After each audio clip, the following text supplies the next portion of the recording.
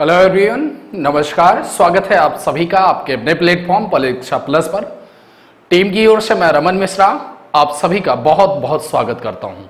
दोस्तों, आज हम ग्रामीण विकास में, क्योंकि कल मैंने आपको पढ़ाया था कि कृषि और ग्रामीण विकास को लेकर भारत सरकार के द्वारा कौन कौन सी योजनाएँ कब कब चलाई गई, उनके विषय में हमने विधिवत बात किया था। तो जैसा कि आपको मालूम है, सामुदायिक विकास जो कार्यक्रम चले इन कार्यक्रमों में भारत सरकार का जो लक्ष्य बना, कि ग्रामीण क्षेत्रों का विकास करना, विकास के साथ साथ रोज़गार पैदा करना, रोज़गार के साथ साथ ग्रामीण क्षेत्रों में शिक्षा जगत को लेकर के और स्वास्थ्य जगत को लेकर भी गवर्नमेंट के द्वारा बहुत अलग अलग स्कीम्स लॉन्च की गई। अलग अलग जो आपकी योजनाएँ रही वह चालू हुई। तो आज मैं विशेषकर आपको बताने जा रहा हूँ कि स्वास्थ्य जगत को लेकर के भारत सरकार के द्वारा कौन कौन सी योजनाएँ चलाई गई हैं।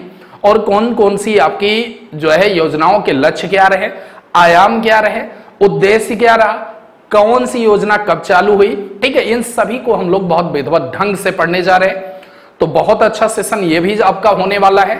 आप सारे लोग वीडियो को जब भी देखिए अच्छे अच्छे कमेंट्स अच्छे अच्छे जो है, जो चीज़ें आपको सोचती हैं टीम के द्वारा जो कुछ प्रोवाइड किया जा रहा है, हर एक बंदा टीम का आपके लिए जो मेहनत कर रहा है, उनके लिए आप कुछ ना कुछ ज़रूर लिख कर जाए ताकि आपको हम, आपकी जो कमेंट की सकारात्मक ऊर्जा है वो हम तक पहुँचती रहे। सभी को मालूम है कि ये जितने भी आपके वीडियोज़ आपको मिल रहे हैं वर्तमान में, ये सभी हमारे टेन प्लस कोर्स का हिस्सा हैं, जिनमें सारे वीडियोज़ हम आपको निःशुल्क देते हैं कि आपको ये समस्या न रहे कि सर जी, अब जो है लॉकडाउन की स्थिति रही, स्थितियाँ बड़ी कमज़ोर हैं तो हम पढ़ाई कैसे करें? ठीक है, अधिकतर विद्यार्थी इस समय अपने घरों में हैं, गाँव को वापस जा चुके हैं। तो उन सभी के लिए परीक्षा प्लस की ओर से एक आप तोहफा समझिए या हमारी एक कोशिश समझ समझिए, जिसके लिए हम आप जो कुछ टीम के द्वारा आप सभी के लिए किया जा रहा अगर आपको पीडीएफ चाहिए और अगर आपको हर एक क्लास की कोई चाहिए तो भैया नाम मात्र का शुल्क है, क्योंकि इसमें हमें इन्वेस्ट करना पड़ता है, ठीक है? और उसके लिए हम सहयोग राशि तीन महीने के लिए आपको 499 में दे रहे हैं। चार सौ निन्यानवे में जितनी क्लासेस पढ़ाते, सभी की पीडीएफ देंगे। अच्छे आप ये ढंग से बनी पीडीएफ होगी, ताकि आप उसको लास्ट में प्रिंट भी करवा सके। ठीक है? बाकी टीम के हमारे बहुत सारे प्रोग्राम चल रहे हैं, जिनमें अगर आपको नोट्स भी चाहिए टेस्ट सीरीज़ भी चाहिए, मान लीजिए जैसे ईपीएफओ में आपको एडमिशन लेना है तो ईपीएफओ का क्रैश कोर्स चल रहा है। इस नंबर पर आप कॉल करके या डायरेक्ट ऐप से परचेज करके हमसे जोड़ सकते हैं। सारे नोट्स और सारे आपको जो है ये टेस्ट सीरीज़ मिल जाएँगी, जिससे कि आप अपनी तैयारी को और धार दें। अगर आपको यूपीपीएससी प्री में बैठना है 20 में तो इसके लिए भी हमारे पास क्रैश कोर्स है, जिसमें हम सारी नोट्स दे रहे हैं। एक गुणवत्तापूर्ण, पूरी नोट्स है।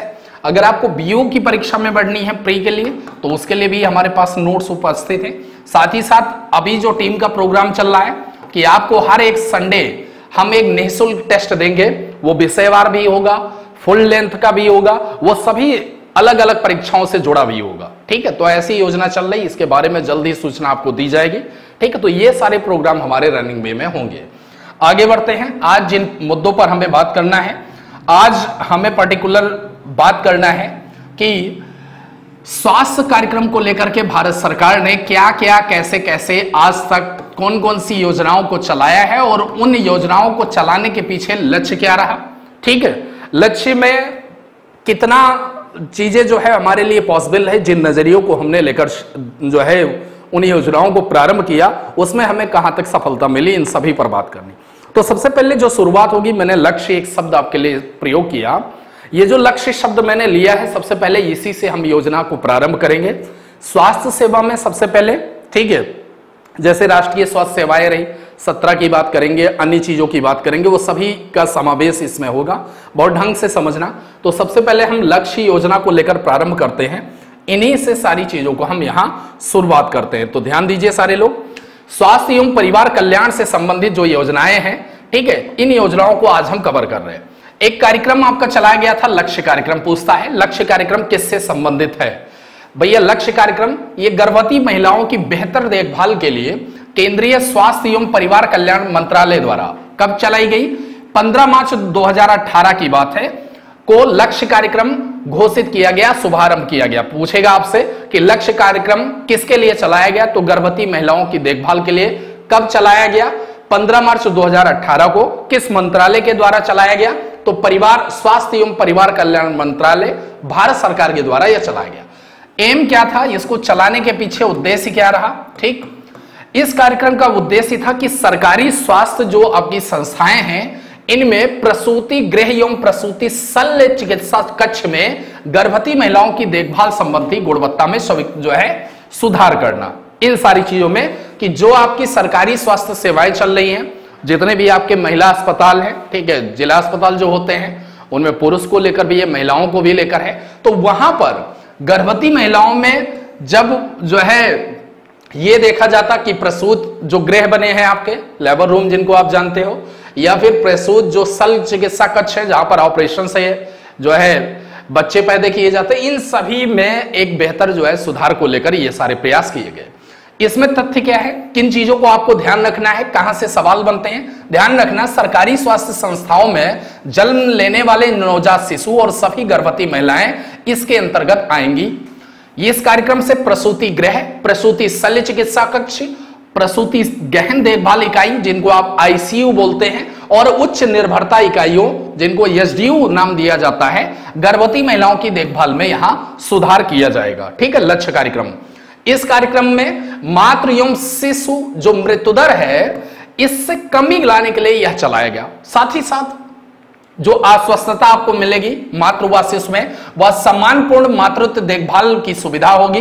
प्रसूति कक्ष और प्रसूति जो शल्य चिकित्सा कक्ष है, इसकी गुणवत्ता में सुधार का जो आकलन है यह गुणवत्ता आश्वासन मानकों के माध्यम से सारी चीज़ें की जाएँगी। ये जो संस्थाएँ हैं, ठीक है, इनका एक स्टैंडर्ड है। मानक क्या है?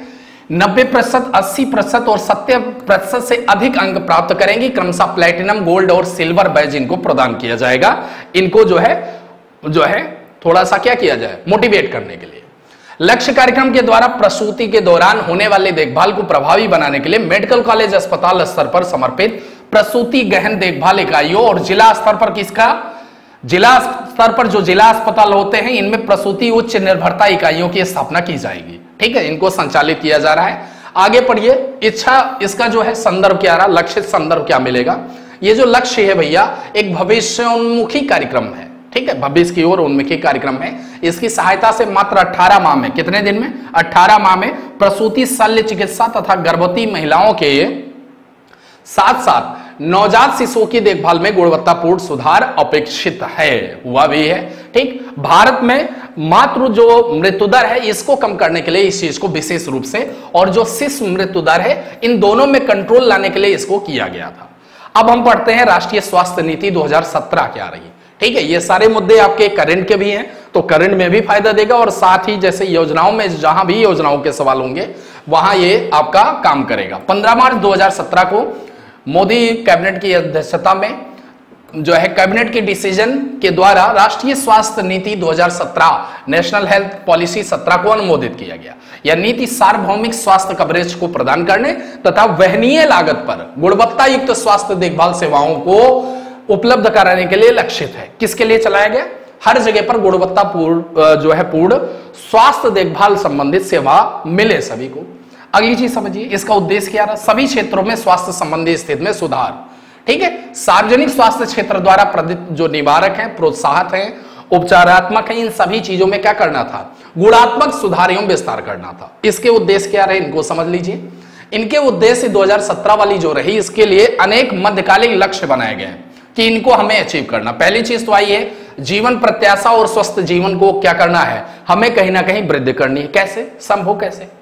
समझिए, जन्म के समय जीवन प्रत्याशा जो होती है, वो सड़सठ दशमलव पाँच वर्ष से बढ़ाकर 2025 तक 70 वर्ष करना है, ध्यान रखना। 25 तक भारत में जो आपकी जीवन प्रत्याशा है, इसको बढ़ाकर 70 वर्ष करना है। प्रेजेंट में कितना है? सड़सठ दशमलव पाँच है। यानी कोई व्यक्ति साढ़े सड़सठ औसत है अपने यहाँ, उम्र तक जीता है। इसको 70 पर ले जाना है। 2025 तक राष्ट्रीय एवं उपराष्ट्रीय स्तर पर कुल प्रजनन दर जो है, ठीक है टोटल जो फर्टिलिटी रेट है, इसको घटाकर दो दशमलव एक परसेंट पर लाना है। याद रखना, दो दशमलव एक परसेंट कब तक? पच्चीस तक लाना है। ये हमारा लक्ष्य है। मृत्यु दर में क्या चीज़ें सुधार करनी? पाँच वर्ष से कम आयु के बच्चों की मृत्यु दर को कम कर 2025 तक 23 प्रति हज़ार लाना है। कितना? 23 प्रति हज़ार यानी एक हज़ार पर 23 केवल शिशुओं की मृत्यु हो इसको करना है। तथा मातृ मृत्यु दर ठीक है?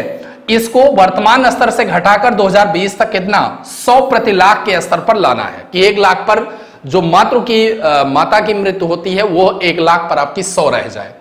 नवजात शिशु मृत्यु दर को वर्ष 19 तक घटाकर 28 प्रति हज़ार के स्तर पर लाना था। ठीक है ये 17 में थी। मातृ जन्म लेने वाले बच्चों की दर को दो वर्ष आ, की दर को वर्ष 2025 तक घटाकर ठीक है इसको इकाई में लाना था कि इकाई मतलब एक से नौ के बीच में लाना था। ये याद रखना ठीक है। आगे रोग प्रसार घटनाओं में कमी लाना था। 2020 तक एच रोग हुआ या जिसको आप एड्स के नाम से जानते इसको 90 रेशियो 90 रेशियो 90 ये क्या है? इसके वैश्विक लक्ष्य को प्राप्त करना था। मतलब कि 2020 तक 90 प्रतिशत एच संक्रमित लोगों को अपनी एचआईवी स्थिति के बारे में पता हो। एच संक्रमित 90 प्रतिशत व्यक्तियों को अस्थायी एंटेओ एंटी रेट्रोवायरल चिकित्सा प्राप्त हो और एंटी रेट्रोवायरल वायरल जो चिकित्सा है प्राप्त करने वाले 90 प्रतिशत लोगों में विषाणु की रोकथाम सुनिश्चित हो। ये 90 रेशियो 90 रेशियो 90 है। समझ गए? अगली चीज़ 2018 तक कुष्ठ रोग, वर्ष 2017 तक कालाजार जिसको काला ज्वर बोलते हैं, हाथी पाँव का उन्मूलन करना, इस स्थिति को बनाए रखना। जो छह रोग है, टीबी, ट्यूबरकुलोसिस, इसके नए मामले में पचासी प्रतिशत से अधिक की रोग मुक्ति दर, ठीक है, प्राप्त करना, उसे बनाए रखना। ये सारी चीज़ें रही। 2025 तक ये पूछा भी था, ठीक है, पिछली बार में, ध्यान रखिए। जो दृष्टिहीनता की व्यापकता को घटाकर ज़ीरो दशमलव पच्चीस प्रति हज़ार के स्तर तक लाना था। इससे ग्रस्त रोगियों की संख्या को वर्तमान स्तर से घटाकर एक तिहाई करना था। ठीक है? ये सारी चीज़ें रही और ये पूछा भी था। आगे बढ़ते हैं तो ये सारी डाटा जितने भी है भैया, बहुत इंपॉर्टेंट है, इसको ध्यान रखना। कोई भी परीक्षा आप देने जा रहे हो, उन सभी में इनसे सीधा सवाल पूछता है और पूछेगा। हृदय वाहिका जो रोग होते हैं, जो आपके ठीक है कार्डियोवैस्कुलर डिज़ीज़ है कैंसर है, मधुमेह है, स्वास्थ्य संबंधी जो जीर्ण रोग है, इनसे जो अकाल मृत्यु होती है, इसको 2025 तक घटाकर 25 प्रतिशत तक इसमें कमी लाना है। ठीक है, वही चीज़ स्वास्थ्य सेवाओं का कवरेज देखें तो 2025 तक मौजूदा सार्वजनिक जो स्वास्थ्य सुविधा है, इनके उपयोग में 50 प्रतिशत तक वृद्धि करने का लक्ष्य रखा गया है। साथ ही साथ 2025 तक एक वर्ष तक के 90 प्रतिशत से अधिक नवजात शिशुओं का पूर्णतया प्रतिरक्षण सुनिश्चित करना है। 2025 तक राष्ट्रीय एवं उपराष्ट्रीय स्तर पर परिवार नियोजन की 90 प्रतिशत से अधिक आवश्यकताओं की पूर्ति करना है। अगर परिक्षेत्रीय लक्ष्य देखें तो 2020 तक 15 प्रतिशत तंबाकू उपभोग के मामले में और 25 तक 30 प्रतिशत तक की कमी लाना है उपभोग को लेकर के, तंबाकू को लेकर के। वर्ष 2020 तक सभी के लिए सुरक्षित जल एवं स्वच्छता तक पहुँच को सुनिश्चित करना है। कब तक? 2020 तक। स्वास्थ्य वित्त को लेकर अगर बात करें तो आप जानते हो स्वास्थ्य वित्त जीडीपी जो है, सकल घरेलू उत्पाद जो है, इसके एक दशमलव एक पाँच प्रतिशत से बढ़ाकर 2025 तक इसको ढाई प्रतिशत करना है। ठीक है जीडीपी का स्वास्थ्य सेवाओं पर खर्च ढाई प्रतिशत लाना है कब तक? 2025 तक। आगे बात करते हैं, राज्यों के स्वास्थ्य क्षेत्र पर व्यय को बढ़ाकर 2020 तक उनके बजट का आठ प्रतिशत से अधिक करना है। मानव संसाधन स्वास्थ्य, इसमें आपकी ऐसी चीज़ें हैं एक तो ये याद रखना कि 2025 तक उच्च प्राथमिकता वाले जिलों में आईपीएचएस मानदंडों के अनुरूप जनसंख्या अनुपात में सामुदायिक स्वास्थ्य स्वयंसेवकों की संख्या को बढ़ाना है। स्वास्थ्य प्रबंधन सूचना में इसमें सार्वजनिक स्वास्थ्य की दृष्टि से महत्वपूर्ण रोगों का पंजीकरण प्रणाली स्थापित करना है यह प्रयास गवर्नमेंट के द्वारा होगा। अगली बात समझे, इसमें और जो तथ्य जिनसे आपसे सवाल पूछ सकता है, ठीक है? इस नीति में गैर संचारी रोग जो संक्रमण आपके नहीं फैलने वाले होते हैं, इन रोगों को विशेष कर लक्षित किया गया है कि इनको हम लोग रोके। ठीक है? अगली चीज़ समझिए, जो महत्वपूर्ण है उन्हीं को हम बताते हैं। अगला है 2000 राष्ट्रीय जनसंख्या नीति 2000 क्या रही, इसको जानिए। जनसंख्या नीति है, समझिए इसको ढंग से। क्या रहा भैया इसमें? भारत में जनसंख्या नियंत्रण का प्रयास स्वतंत्रता के समय से ही किया जा रहा। वर्तमान, वो वर्ष उन्नीस सौ बावन में भारत परिवार नियोजन कार्यक्रम, कब? 1952 की शुरुआत करने वाला विश्व का पहला देश बना। सबसे पहले इंडिया में लागू हुई पूछता भी ये परिवार नियोजन कार्यक्रम भारत में कब चालू हुआ? तो वो 1900 आपका बावन था। वर्ष 1956 में केंद्रीय परिवार नियोजन बोर्ड स्थापित हुआ। कब? 1956 में।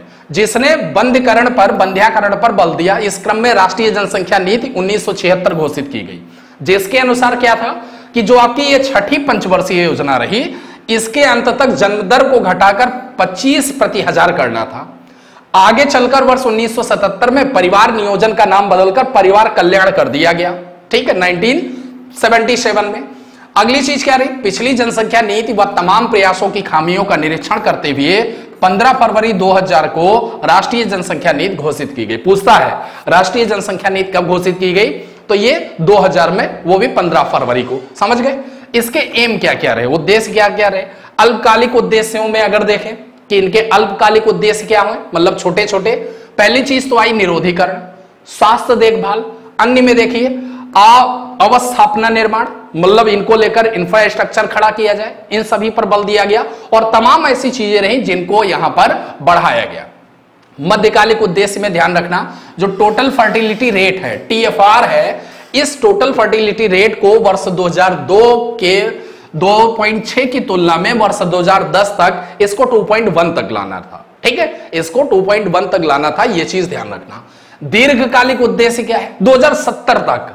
2070 तक पूर्व में यह लक्ष्य वर्ष 2045 था कि एक स्थिर जनसंख्या का स्तर प्राप्त करेंगे। हम 70 तक अपनी जनसंख्या को स्थिर कर देंगे यह चीज़ कोशिश आई जो कि आर्थिक समृद्धि, सामाजिक विकास तथा पर्यावरण सुरक्षा के अनुरूप हो। अब इसके लक्ष्य क्या रहे? राष्ट्रीय जनसंख्या नीति के समझिए। मातृत्व जो मृत्यु दर रहा है, इसको प्रति एक लाख प्रसव जीवित जन्मों पर सौ से कम करके स्तर पर लाना। शिशु मृत्यु दर को प्रति एक हज़ार जीवित जन्मों पर तीस से कम करना। टीके द्वारा रोकी जा जा सकने वाली बीमारियों के विरुद्ध सभी बच्चों में प्रतिरक्षण को बढ़ाना। जो प्रजनन नियंत्रण एवं गर्भ निरोध के लिए विभिन्न विकल्पों के विषय में जानकारी व सेवाओं तक सभी व्यक्तियों की पहुँच को आसानी से बढ़ाना, ये सारे इसके लक्ष्य रहे, ठीक है? लड़कियों की विवाह आयु को 18 के वर्ष करने के बाद प्रोत्साहित करना, अभी इस पर बात चल रहा है, ठीक है?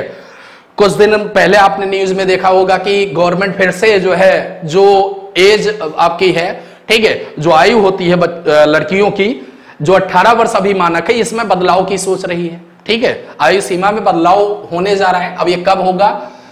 ये तो जब होगा तब पता चलेगा। आगे बढ़ते हैं मिशन परिवार विकास। ये कब रहा इसको समझिए। भैया, केंद्रीय स्वास्थ्य एवं परिवार कल्याण मंत्रालय, पहले ये जानिए। इसके द्वारा देश के सात राज्यों के सर्वाधिक प्रजनन दर वाले 145 जिलों में प्रजनन दर में कमी लाने के लिए मिशन परिवार विकास, ठीक है, कार्यक्रम आरंभ करने का फैसला कब? 16 में किया गया। 23 सितंबर 2016 में किया गया। यह मिशन सात राज्य, कहाँ कहाँ? एक तो अपना यूपी रहेगा ही, जानते ही हो। दूसरा बिहार हो गया, तीसरा राजस्थान, चौथा मध्य प्रदेश, छत्तीसगढ़, झारखंड और असम के 145 जिलों में प्रजनन दर में कमी लाने के लिए इसको प्रारंभ किया गया। ठीक है? सात राज्यों को याद रखना। इन राज्यों की का देश की कुल आबादी में चौवालीस प्रतिशत हिस्सा है। ठीक है? लगभग आधी यही लिए बैठे हैं। इस वजह से इन चीज़ों को प्रारंभ किया गया था।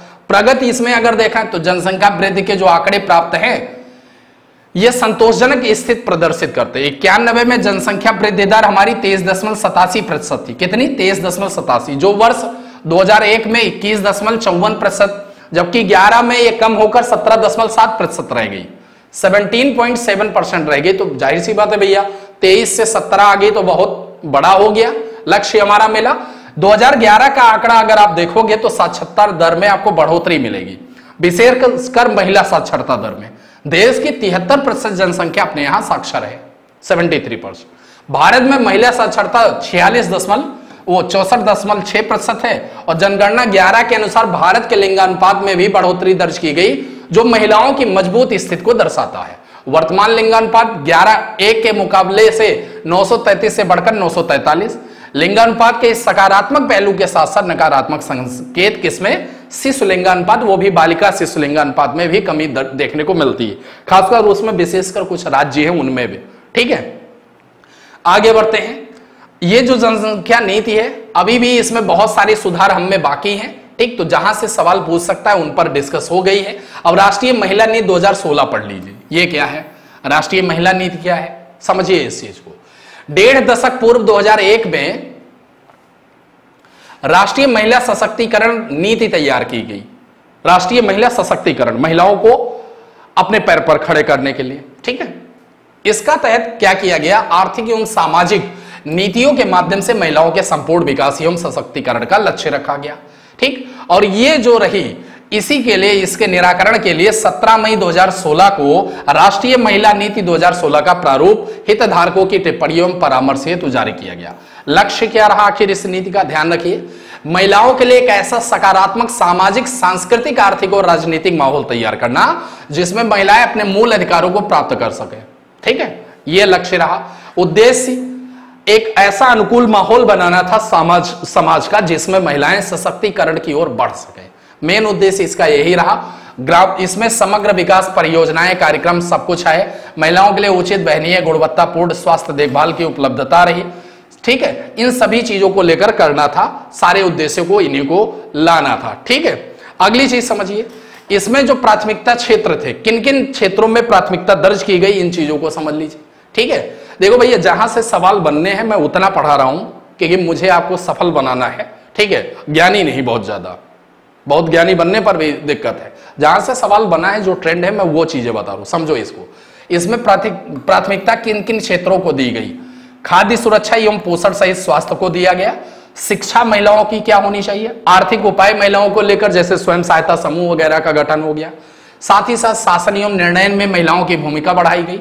ठीक है? और महिलाओं के खिलाफ जो हिंसा चल रही थी, इनमें भी रोक लगानी थी। इन सभी के लिए पूरे प्रयास किए गए थे। ठीक है?